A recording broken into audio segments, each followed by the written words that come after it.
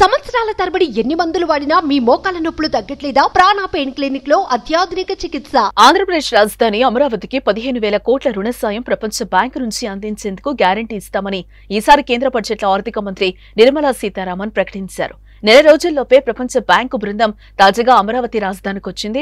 రెండు రోజుల పాటు రాజధానిలో నిర్మాణాలు పరిశీలించిన వరల్డ్ బ్యాంక్ టీం చివరిగా సీఎం చంద్రబాబుతో చర్చలు జరిపారు.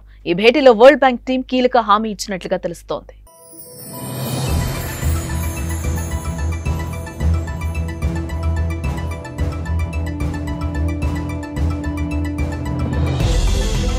నలుగురు సభ్యుల వరల్డ్ బ్యాంక్ టీం అమరావతిలో పర్యటించి భవనాల తాజా పరిస్థితి తెలుసుకున్నాక చంద్రబాబుతో భేటీ అయ్యింది. ఇందులో రెండు వేల యాభై నాటికి అమరావతి జనాభా ముప్పై ఐదు లక్షలకు చేరుకుంటుందని వీరికి ప్రపంచ స్థాయి ప్రమాణాలతో కూడిన మౌలిక సదుపాయాలు కల్పించేందుకు పదిహేను వేల కోట్లను రుణంగా ఇవ్వాలని చంద్రబాబు కోరారు.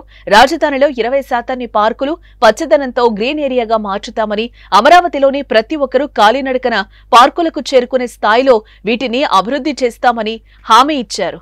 డ్రైనేజ్ రోడ్ల కనెక్టివిటీ మంచినీరు ట్రంక్ ఇన్ఫ్రాల్లో ఉన్నత ప్రమాణాలతో కూడిన సౌకర్యాలు అందుబాటులోకి తెస్తామన్నారు. వీటి కోసం తొలి విడతగా పదిహేను వేల కోట్లు కోరారు.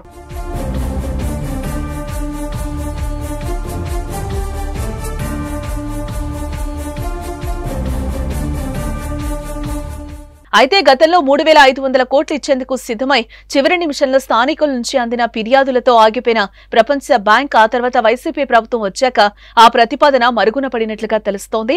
ఇప్పుడు పరిస్థితులు ఎలా ఉన్నాయనే అంశంపై చంద్రబాబును ప్రపంచ బ్యాంక్ ఆరా తీసినట్లుగా తెలుస్తోంది. అలాగే రాష్ట్రంలో పరిస్థితులు మారినప్పుడు ఇబ్బందులు తలెత్తకుండా తీసుకోవాల్సిన చర్యలపైన చర్చించినట్లుగా సమాచారం. దీనిపై మరింత క్లారిటీ తీసుకునేందుకు మరోసారి అమరావతికి వస్తామని ప్రపంచ బ్యాంకు ప్రతినిధులు చంద్రబాబుకు తెలిపారు. అయితే ఓవైపు కేంద్రం గ్యారంటీ ఉండటం మరోవైపు చంద్రబాబు అమరావతి అభివృద్ధి ప్రణాళికల్ని ముందుంచిన నేపథ్యంలో ప్రపంచ బ్యాంకు టీం తదుపరి భేటీలో పదిహేను వేల కోట్ల రుణ ప్రతిపాదనకు ఆమోదముద్ర వేసే అవకాశాలు కనిపిస్తున్నాయి. అదే జరిగితే సాధ్యమైనంత త్వరలో అమరావతిలో మౌలిక సదుపాయాల కల్పనతో పాటు ఇతర పనులు ప్రారంభమవుతాయి. బ్యాంకు ప్రతినిధుల భేటీ కీలకంగా మారనుంది.